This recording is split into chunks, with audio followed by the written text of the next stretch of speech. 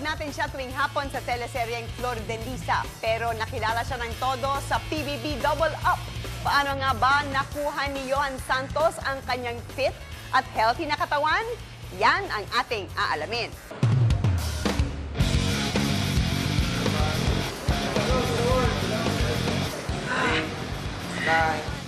Bang sinusunod na dieta or meron ka bang food rules sa sarili mo para sa katawan mo? Oo, talaga, talaga importante kasi yan. Kagaya ng dapat walang fats. Talaga? Tapos lean meat, high in protein. Anong kinakain mo palagi sa isang araw? Fish, roasted chicken, Paano yung breakfast? cereals. May carbs ako pero more on cereal, yung high fiber. How about fruit? Grapes, apple, minsan may banana ako, or minsan oranges. Madalas Fish. ka bang kumain in one day or three big meals?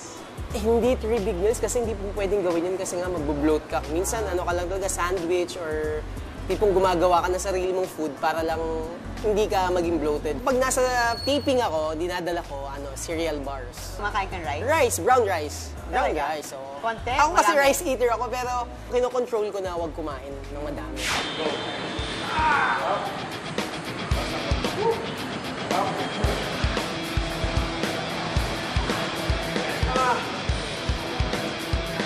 Nine, ten, two, three, kaya.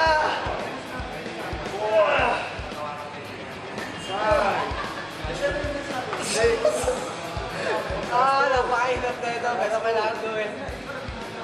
seven, last one. Anong klaseng workout ginagawa mo? Kasi nung dati sa PBB, super payat ka, di ba? Ah, oh yeah, papayat ako nun tsaka hindi ka ganun makakapag-workout ng maayos dun sa loob ng bahay. So ngayon, ilang beses ka nag-workout at anong workout ang ginagawa mo? Minsan kasi, depende na lang talaga kung ano yung gusto mong mangyari sa katawan mo eh. So, maybe four times to three times a week, okay na yun. Anong ginagawa mo? Weights, treadmill yan, ganyan. Treadmill. Or minsan takbo ka ng takbo dito sa loob ng gym. Actually, ito na yung pinaka-resting part ng biro mo. Kahit nagpapahinga ka, magpapawis ka pa din. Kailangan ko tumakbo. Kailangan ko sunod pumayad dapat. Kailangan ko magtsaga. Nag-enjoy ka ba sa workout or ginagawa mo dahil kailangan? Nag enjoy ako dahil hinahanap ko ng katawan ko eh. Tsaka kapag hindi ka nag-workout, parang naging mainit yung ulo mo or parang gano'n. Yes. Kasi parang nai-stress ka or something gano'n. Kaya yung workout mo, parang stress releaser mo yung gano'n. Nakakatulong ba siya sa work mo? Yeah, sobra. Lalo pag marami kang iniisip. Kasi kapag nag-workout ka, parang ah, nakakapag-isip ka pa kung ano yung gagawin mo for the whole day or plans mo for your life. Gano'n. Yeah.